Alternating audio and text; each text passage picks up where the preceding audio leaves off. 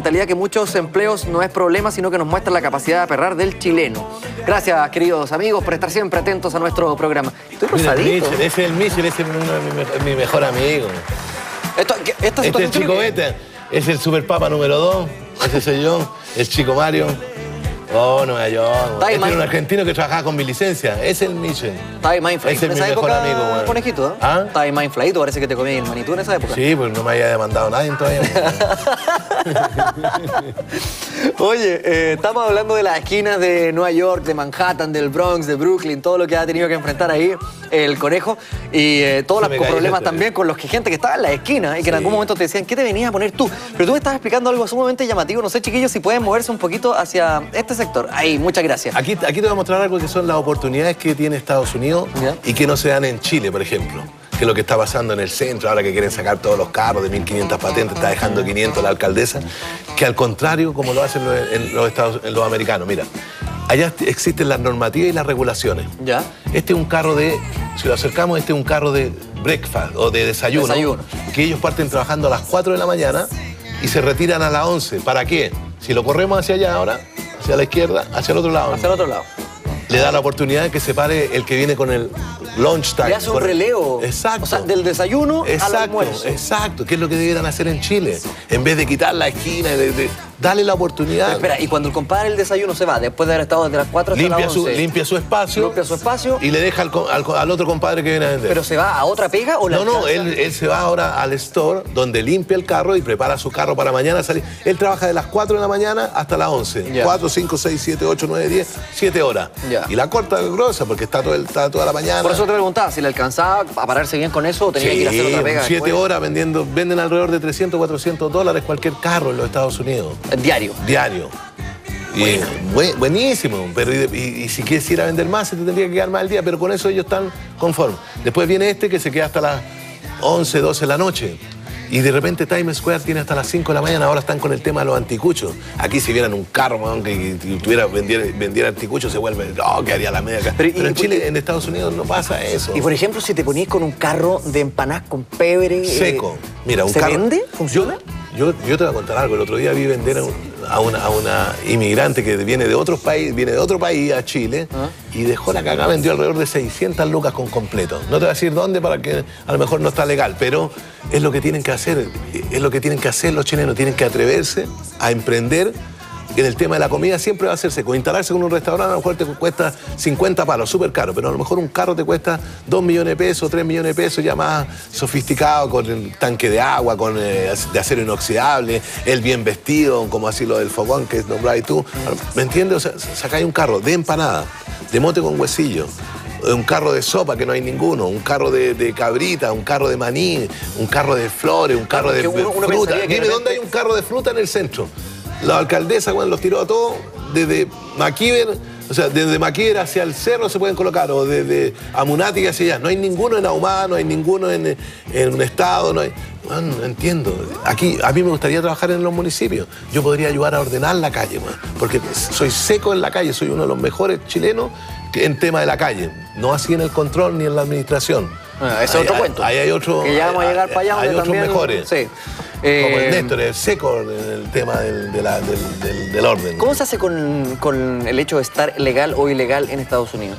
Bueno, uno para poder trabajar en la calle en los Estados Unidos tiene que sacar una Food Vendor License, Ya. que, que se- que te la entrega el Departamento de Salud. Entonces, uno cuando, cuando yo llegué, en mi caso, cuando yo llegué a los Estados Unidos, yo era ilegal. ¿ya? Tenía seis meses para estar dentro de Estados Unidos como turista. Pero como yo, iba- yo ya sabía que me quería quedar a trabajar, nosotros, los, los argentinos, nos, enseñaron que había que comprar el certificado de nacimiento. Por ejemplo, tú soy boricua.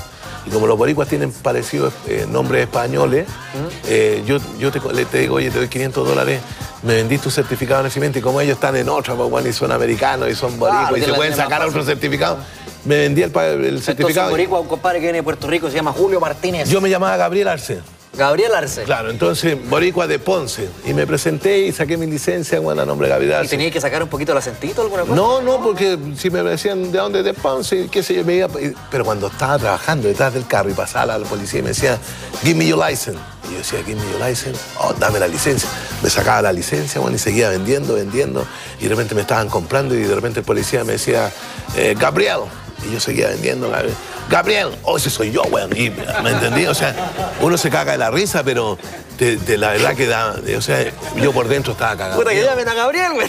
Me, da, me da, o sea, da miedo porque eh, es un delito, ¿me entendí? Pero después me casé con la gringa y I'm Luis Martínez en United States again, you know. Eh, eh, Pudiste volver a ser Luis Martínez en Estados Unidos. Me llamé como, tuve como, no sé, pero nunca, siempre lo usé para trabajar.